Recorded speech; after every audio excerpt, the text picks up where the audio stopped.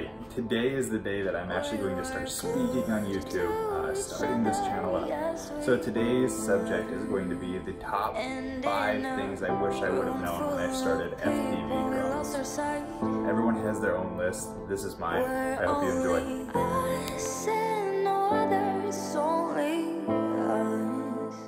All right, number one is gonna have to be the creativity. Uh, this is the freedom of flying. This is something that has not been experienced by a lot of other people, not been experienced by a lot of other generations beside us. We have the ability to get in these tiny little cockpits, look right out through them, and go fly around. We can see things like explore the trees, the bushes, the clouds. I can fly over the top of my house. It's awesome. I would have never thought that we would have been able to do something like this before. You can see things from a completely different view, from a very, very different perspective. And it is uh, one of the most freeing things in this entire world.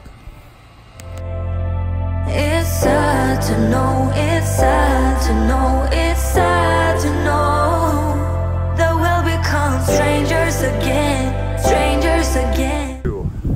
FPV, friendship, and community. So it just so happens that I'm out here by myself today. Uh, my bestest FPV friend could not make it. He had some things come up at the last minute. Uh, but man, it is awesome to connect with more people than you would around your regular circle. I mean, people acquire friends all sorts of different ways, right? Uh, high school, college, which I have a lot of good friends from that. Military, some of my best friends are from the military. Um, your profession, I mean your coworkers. FPV is just another way to uh, to meet people, like-minded people, and I think that's so fun. And that's that's part of the beauty of it is you have an opportunity to uh, just have this whole brand new dynamic in your life. Some of these people are really, really good, and just like in any other hobby, sometimes people suck. So I've had been fortunate enough to meet some really, really good people. Um, people that we can bounce ideas and share stuff and uh, just kind of discuss the state of where we're at and where we're gonna go and and uh, plan things to do and hang out with. And it's a lot more fun to come fly with other people. You get to kind of critique and go back and forth and say, hey, have you thought about doing this? And just bounce ideas so much more fun to build with other people and in a way when you're building or you're struggling with either like a trip trick or a technique or uh, whatever it may be it is nice to know someone else is there either struggling with you and then you guys can both mutually support each other. So mark i appreciate you buddy. vidIQ vidIQ yep. It actually monitors all your statistics on the youtube channel. Gives you some good stuff. Yep, you need to do that. He knows the things about the stuff. I know the things about the stuff. I know things, and I, I know things. And I know, that's what it says on my LinkedIn profile. I, yeah. See, that's what good friends know. I know the other. things. I fly the drones. Fly the drones. I don't. I don't know one thing. I know many things. I know something about everything. There it is. And a lot about nothing. Boom. All right. So number three for my list is time consumption. Um, FPV can be a really quick hobby sometimes to get some flights in. Uh, other times, holy moly, you were gone all day and then you're working on your quads all night and then you're back. Now I'm lucky enough to work every other weekend, which means that I have time throughout the day, throughout the week, a lot of times, a day or two where I can uh, come out and fly if I don't have anything else to do that day. But for the most part, time consumption is huge. You're getting into FPV, you plan on dedicating some really solid time. Good news is, after you got everything built, everything is tuned how you want it to, it can be a lot of fun than just small little things, changing off ESCs, props, motors, flight controllers, that sort of thing. Once you're used to the build process, it's really, really easy. But until that point, it's a little rough. That being said, it's all good until you crash. Now, uh, crash all the time. I think it's really imperative to crash to learn and to push yourself. And if you're not pushing yourself, then I don't know. I don't know how much you're really enjoying it. Anyway, I'm about to rip.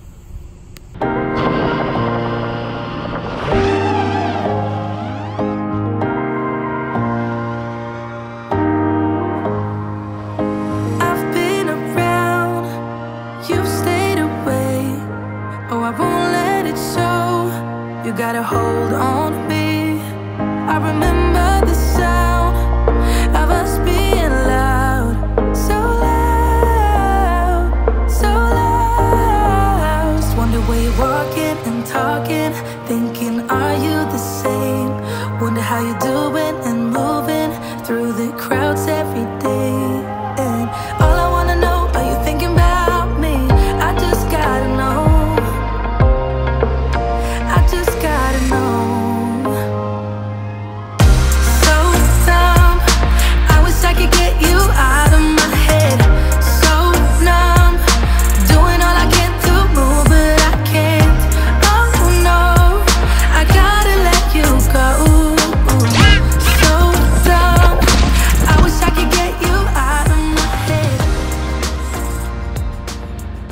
Number four, um, FPV gives you a new lease on life. Makes you think about all the different things that you can do, uh, all the different things that you can create. I mean, I wouldn't even be talking to a camera if it wasn't for FPV. Uh, seeing some of the amazing filmmakers they are really inspires you to do things that you haven't done before in your life. Uh, really, really, really neat stuff. Inspires you to go places that you've never seen. Uh, maybe with just the intention of exploring or maybe the intention of flying. Either way, it's beautiful. It is so nice to have like a new world opened up to you. Uh, I really, really, really love that about flying drones. And then number five, uh, number five is cost, right? Everyone has a basic idea when they start. They know that it's it's going to be some upfront cost. It is not the most expensive hobby in the world. It is way cheaper than uh, cars as a hobby, right? It's way cheaper than motorcycles or boats. Um, I've done a lot of hunting. It is cheaper than hunting in a lot of ways. Uh, a lot less early mornings, right? Um, but it does have costs associated. So this was today. Today wasn't a horrible day. I've got in two packs that were just miserable and I left the rest of my props at home. So three bags of props, uh, two batteries, one of which the balance lead is fried. I'll be taping that up and taking that with me uh, just so I can fix it. Uh, luckily no motors, no ESCs at this point, but I'm kind of done for right now. It was a good hour that I got out. It was a blast. Um, lots of quad retrievals though. Either way, so those are my five things that I wish I knew when I started this whole FPV process. It's a lot of fun. I enjoy it dearly. It is uh, something that really has become a mainstay in my life. It is a lot of things, a hobby, a lifestyle. It can even be a coping mechanism. So that way you can, uh, I don't know, you kind of look through the past, kind of clear your head out. And that's what I love about it. It is so freeing in every sense. It is freeing. You get the freedom of flight. You get the freedom of time. You have the freedom to make the choices. Where do you want to go? What do you want to hit? What gap do you want to do? What trick do you want to pull? Um, and then there's always, I think for a lot of us, uh, things are about instant satisfaction. And it is so neat to be able to wire up a board, put the drone together, and then you're flying and you're experiencing it. So it's really, really cool. Anyway, that's gonna conclude the first video, the first vlog type video. Um, I hope you enjoy it. That's, that's the kind of idea. I wanna create some content that I'm going to feel fulfilled by doing, and I hope that you enjoy watching it. Is there anything that you wanna see, anything different, let me know. Thanks for, uh, thanks for watching.